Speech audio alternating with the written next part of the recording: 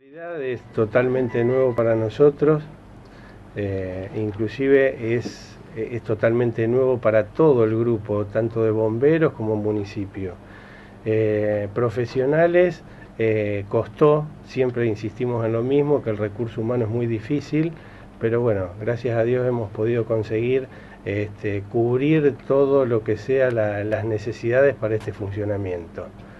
Consta de dos médicos, uno para cada ambulancia, un paramédico y un chofer que va a estar cubierto por bombero, que también es una tercera persona que está capacitada para todo lo que es accidentología.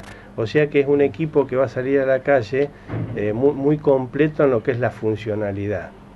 Eh, bueno, un poco la idea es eh, la idea superadora de la emergencia en Zárate y, la exclusividad nos permite darle pura y exclusivamente eh, la importancia que tiene lo que es la emergencia. Lo que tenemos que hacer mucho hincapié es que es emergencia médica en la vía pública. Hay muchas zonas grises que es las que tenemos que hacer tomar conciencia a todo, a, todo, a todo el ciudadano que para que pueda funcionar y para que no se pueda absorber eh, todo en, en, llamados, porque tenemos la, tenemos la experiencia que hay un montón de llamados que no son emergencias y si no, no nos va a dar eh, ningún tipo de, de, equipamiento ni 16 ambulancias y todos van a llamar. ¿De qué manera se puede solucionar este tema? ¿De qué manera se evalúa cuando la persona llama? Eh, el call center es donde se llama y en realidad donde se toma conocimiento y se articula directamente la información. Lo que pasa es que eh, eh, tomar conciencia de esto lo tiene que tomar el ciudadano. Eh, para todos todo es urgencia, pero yo creo que estamos hablando de emergencia en la vía pública.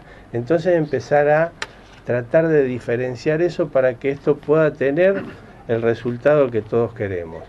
Se, se va a sí. buscar que por lo menos se llegue en tiempo y forma como corresponde. Desde ya. Que el problema que tuvo Vital en varias oportunidades. Eh, de, desde ya se, se, está articulando tanto con DPU y bomberos en la implementación de todo lo que es eh, la parte de información, la parte de comunicación y bueno, Ariel creo que está más al tanto que todos nosotros de cómo se maneja todo esto. ¿no?